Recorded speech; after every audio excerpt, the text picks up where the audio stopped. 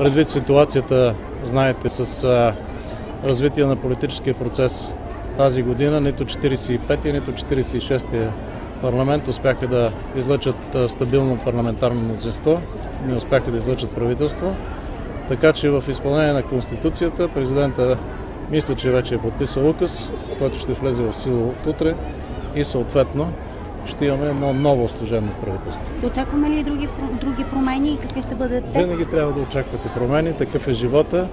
А, нека да видим указа все пак публикуване, тогава да говорим, за да не се окаже, че нещо преди вятъра, така сме Нова тръгнали да политическа формация?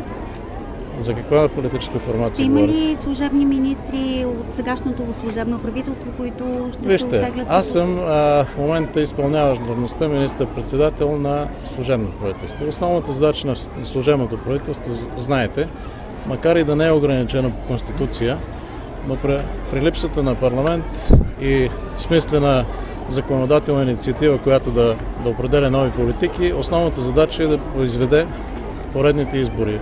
Наистина в нашия случай за първи път три последователни избора в една година, което означава, че в тази предизборна ситуация ролята на служебния кабинет е да бъде еднакво отворен и еднакво отговорен към всички политически формации, дали са нови или стари.